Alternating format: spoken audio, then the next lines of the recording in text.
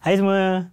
Assalamualaikum dan salam sejahtera. Wah, sedar tak sedar dah nak habis dah suku pertama tahun 2021 ni. Tapi kita baru je dapat telefon pintar dengan kawasan Snapdragon 888 di Malaysia. Kali ni saya nak berkongsi tentang Mi 11, telefon flagship Xiaomi yang baru saja dilancarkan di Malaysia.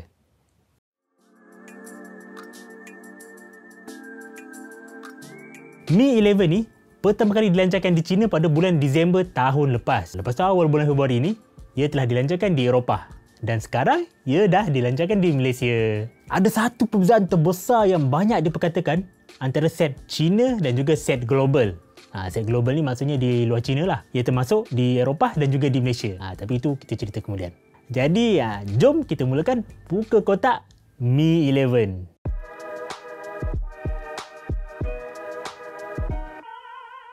Sebelum sebelum buka tu kita cerita sikit lah pasal luaran dia. Ha, jadi depan ni kita dah nampak perkara utama yang nak ditekankan oleh Xiaomi tentang Mi 11. Pertama sekali, ha, depan ni atas ni dia ada tulis 108 megapiksel. Ha, ini untuk kamera utama dia lah. Resolusi tinggi 108 megapiksel. Lepas tu di bawah dia, dia ada tulis 5G dan juga ada Harman Kardon. Wah, mana dia ada sokong rangkaian 5G dan sistem bunyinya ditala oleh Harman Kardon. Ha, salah satu pakar audio yang terkenal di dunia. Selain tu, kalau anda tengok di sisi ni, ha, boleh fokus. Dia cerita tentang telefon ni ada semua aplikasi Google yang anda sentiasa gunakan. Bermakna ia ada Google Play Store, ada YouTube dan semua aplikasi Google yang biasa anda gunakan. Jadi, anda tak perlu risau lah tak ada Google dalam ni. Dan sekarang, kita buka kotak Mi 11. Ya, kita buka ni lambat.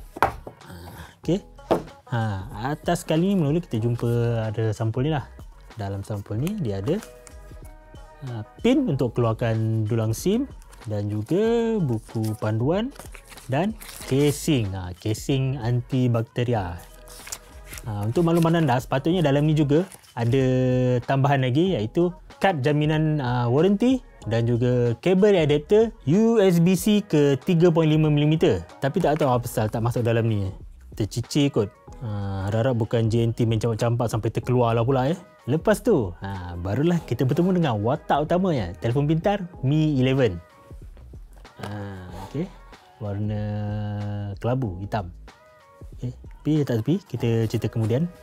Supaya kita boleh lebih fokus pada telefon ni nanti. Dan bawah sekali, ha, dia ada kabel. Kabel USB-A ke USB-C. Dan kepala pengecas. Ha, kepala pengecas 55 watt. Okay. Ha, ini dia Perbezaan utama antara versi China dan versi global. Versi China masa dia dilancarkan dulu, dia tak bagi kepala pengecas dalam kotak, dalam kotak. Dalam kotak dia separuh je nipis. Tapi Xiaomi China masih bagilah pengecas percuma di luar kotak. Dan bila dilancarkan di Eropah, pengecas ni diberikan dalam kotak. Dan nampaknya Malaysia pun dapat kepala pengecas dalam kotak. Ha, alang cerita pasal kepala pengecas ni kan. Apa pendapat anda? Adakah anda rasakan masih perlu kepala pengecas dalam kotak? Apa kata kalau Xiaomi tak bagi kepala pengecas dan harga telefon ni RM100 lagi murah. Anda nak tak? Kalau saya lah kan, saya akan pilih tanpa kepala pengecas dan RM100 lagi murah. Sebab saya sebenarnya ada banyak kepala pengecas dan saya pun ada beli peng- kepala pengecas pihak ketiga yang ada banyak port. Tidak banyak peranti sekarang jadi banyak benda nak charge kan. Banyak port senang sikit. Jadi kalau yang satu port ni dah memang jarang sangat gunakan. Untuk saya, kalau saya jimat RM100 tu, saya boleh beli kepala pengecas pihak ketiga yang banyak port. Lagi senang. Anda macam mana? Habis pasal kotak tadi, sekarang kita sembang tentang telefon Mi 11.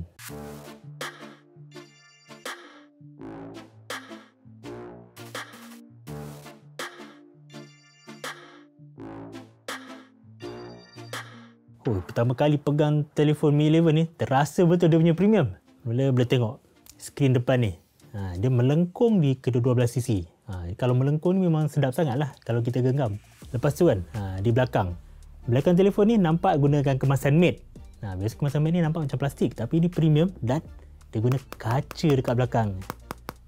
Dan nah, satu lagi yang buat dia premium sebab bingkai dia ni. Bingkai dia dibuat, dibuat daripada besi, bukan plastik tau. Dan nah, satu perkara yang saya perasan lah. Tengok, atas dan bawah telefon ni rata. Jadi anda tengok, dia boleh berdiri sendiri. tak payah pegang pun. Benda ni bukan satu kelebihan pun sebenarnya. Cuma nampak cool sikit lah kan. Lepas tu, ha, di kanan telefon ni anda boleh nampak ada butang kuasa dan butang kawalan bunyi. Di bawahnya pula ada dulang SIM, ada port USB-C dan jeriji speaker. Ha, jeriji speaker ni ada dekat bawah dan juga dekat atas. Dan kalau anda perasan, tak ada jack audio 3.5mm pada Mi 11. Tapi tak boleh risaulah sebab Xiaomi ada bagi kabel adapter USB-C ke 3.5mm. Jadi anda masih boleh gunakan phone telinga anda berwayar. Seterusnya, pasal kamera belakang ni. Anda boleh nampak sangat menonjol dan berbonjol. Dia ada tiga kamera belakang. Anda boleh nampak ada lensa besar, lensa sedang dan juga lensa kecil tepi ni. Bawah dia, dia ada LED flash. Lensa besar ni adalah kamera utama 108MP f1.85 dan dia ada Perstabil Image Optical atau OIS. Lensa yang sedang ni pula adalah kamera ultra lebar 13MP f2.4 dan ha, lensa yang kecil ni pula adalah kamera tele makro 5MP.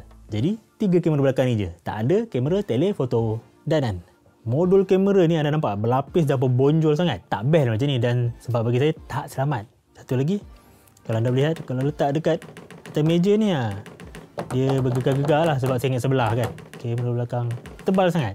Dan bahayalah kalau letak macam ni, kalau terjatuh boleh retak kaca kamera. Tapi nasib baik dia bagi casing getah percuma. Bolehlah buat lapisan keselamatan sikit. Dekat depan ni pula adalah skrin seluas 6.81 inci. Ia daripada jenis AMOLED dan ada resolusi yang sangat tajam. 3200 x 1440 atau resolusi 2K. Nama lain dia WQHD+. Skrin ni, ha, kalau anda lihat ada lubang kecil atas ni.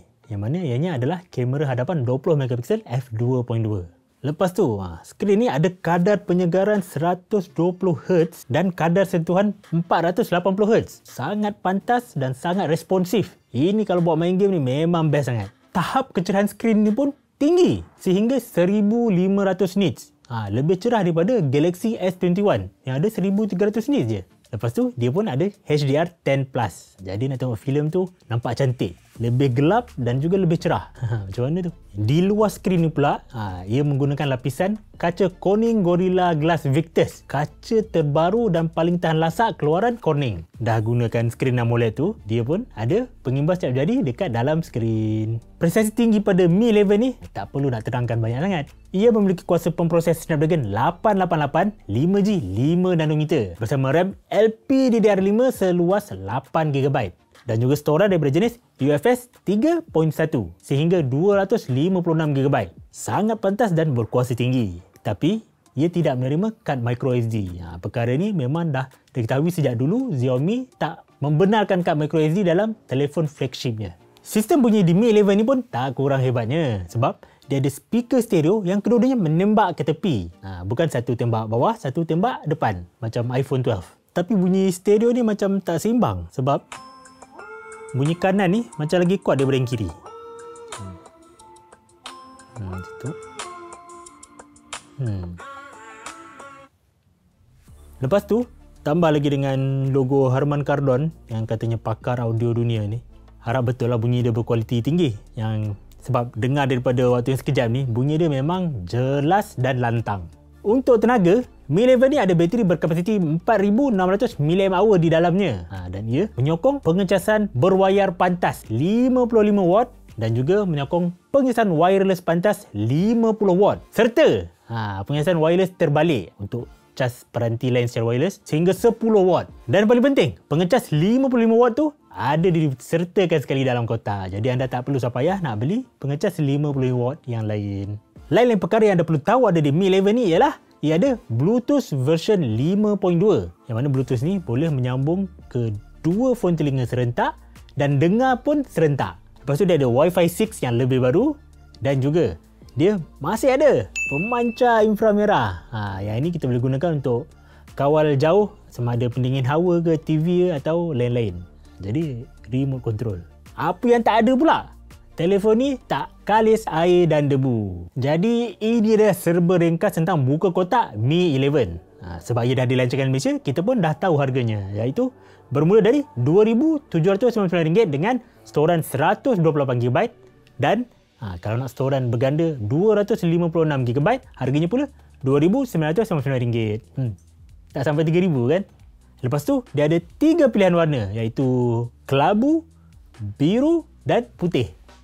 Dengan prestasi, kualiti dan harga seperti ini, ha, memang Mi 11 ni adalah telefon pintar terbaik yang boleh anda beli bawah RM3,000 sekarang. Kalau nak kata pesaing terdekat dia buat masa ni macam uh, Galaxy S20 FE 5G dan juga OnePlus 80. Kedua-dua telefon ni dikosong oleh Snapdragon 865 dan ada skrin AMOLED 120Hz. Kalau nak kata saingan yang akan datang untuk tahun ni, ha, kita boleh kata macam Realme GT kot. Ia baru diumumkan tapi masih belum dilancarkan. Terima kasih banyak-banyaklah kerana menonton video ini. Kalau anda ada pertanyaan, cadangan ataupun aduan, nah, boleh tulis di ruangan komen di bawah ni. Lepas tu, jangan lupa mendaftar vaksin COVID-19. Dah dibuka sekarang. Kepada yang belum mengikuti kami, jangan lupa tekan butang subscribe saluran YouTube Soya Cincau BM. Ikuti kami juga di Facebook, Twitter dan Instagram. Saya Najib dari Soya Cincau. Semoga kita bertemu lagi dalam video kami yang akan datang. Bye. Assalamualaikum.